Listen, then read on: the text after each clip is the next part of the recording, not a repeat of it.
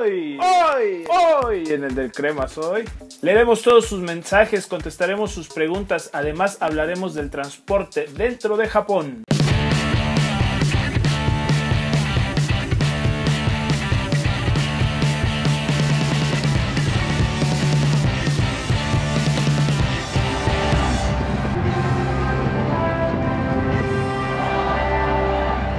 Muchos nos han escrito haciendo preguntas y aquí se las responderemos a todos ustedes. Diego Velázquez nos pregunta que si los precios estimados que dimos en el video pasado son para la ida y vuelta o solo ida.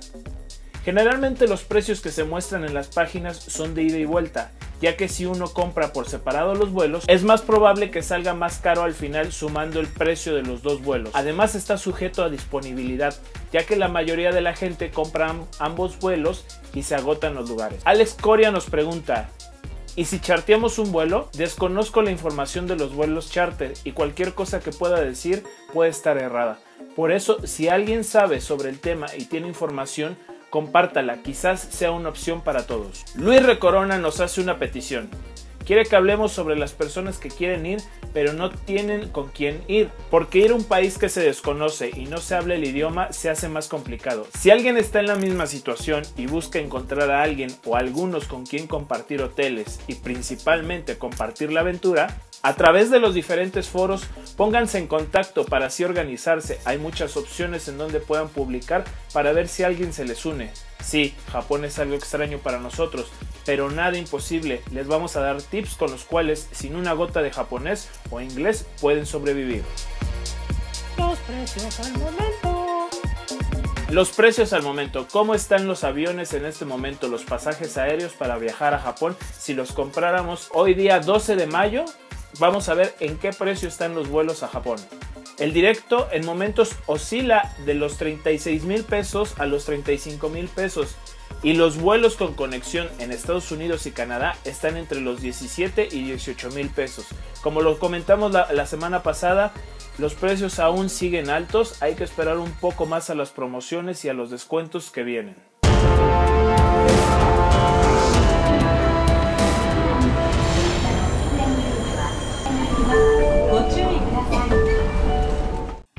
El transporte dentro de Japón podría parecer muy complicado y a primera vista sí lo es, pero no hay nada de qué preocuparse.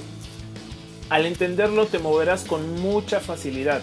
Una de las principales e indispensables ayudas para cualquier visitante es el Japan Rail Pass. Este es un boleto multifuncional para usarlo dentro de Tokio y otras ciudades que se visiten. En Japón existen varios tipos de metro y tren, la principal compañía es la estatal Japan Rail. Cuando vean este logo, con su Rail Pass podrán ingresar ya que es un pase de viajes ilimitados por cierta cantidad de días. Esto incluye tren bala y las líneas de tren de cada ciudad, que son las principales y los llevan a todos lados. Por 260 dólares ustedes pueden viajar durante 7 días de punta a punta del país. O si piensan estar más tiempo, pueden comprar el de 14 días por 420 dólares. Como recomendación, si ustedes van a estar 8 o 9 días, no les recomiendo gastar en el de 14 porque sería mucho dinero desperdiciado. En dado caso, solo les faltaría el transporte al aeropuerto, dependiendo si es Haneda o Narita. A Haneda podría moverse con el pase de un día que se venden las máquinas y para Narita deberán comprar el tren que les costará 25 dólares aproximadamente. Por eso no le veo el caso de gastar 160 dólares en un pase de dos días. El Rail Pass ustedes lo pueden comprar ya sea por internet, necesitan una tarjeta de crédito y se los envían a domicilio, o en las diferentes oficinas de representación japonesa cerca de su localidad. Abajo en la descripción les dejo el link para que busquen la más cercana. Si vives en la Ciudad de México, en la colonia Roma y Condesa hay diferentes oficinas donde lo adquieres y el mismo día te dan este comprobante. También en el link vienen las direcciones, ya sea por internet o en alguna oficina, tiene el mismo costo, solo varían los cargos por servicio. En ambos casos te entregan un comprobante como este, el cual ya en Japón tienes que canjear en alguna de las oficinas por su pase que es este. Atención, este pase solo se puede adquirir desde tu lugar de origen. no lo venden en Japón, por eso es mejor que lo compres desde casa antes de tu salida. Ojo, cuando lo adquirí me hicieron una recomendación. Al llegar a Japón, cuando pasen por migración, no hacerlo por las máquinas automáticas y hacerlo con el personal de migración. Esto ya que te ponen el sello de entrada y te lo piden al hacer el canje de tu pase. Un viaje común entre Tokio y Osaka cuesta alrededor de 200 a 250 dólares solo la ida, así que por mucho comprar el pase nos conviene, ya que puedes ir a Hiroshima, Sapporo, Niigata, Nagano y a donde se te ocurra en tu estancia. Al planear su viaje, vean en qué horario llegan, ya que si llegan por la noche no tiene sentido que en el aeropuerto canjeen su pase inmediatamente, ya que perderían un día del pase y al final no les convendría. También deben de ver entre qué días les conviene más usarlo. La vigencia del pase para usarlo es de 3 meses, así que cómprenlo en promedio un mes antes de salir. Y se han de preguntar, bueno, ¿y mientras cómo me traslado? Tokio, por ejemplo, tiene una infinidad de transporte que parece confuso, pero ya que uno lo entiende, se le facilita. Antes que nada, y para que no se nos complique más, las líneas también son de colores, como aquí, pero los nombres son difíciles. Entonces decidieron que para que fuera más sencillo, la línea tendría una letra y cada estación un número. Así que eso nos facilita la vida. Y esto aplica en los diferentes metros de todas las ciudades. Si van a visitar otras ciudades como Hiroshima, Kyoto, el pase les servirá en muchas ocasiones. Y si no, deberán adquirir boletos de metro. Frente a las máquinas expendedoras siempre se muestra la tarifa al lugar donde van.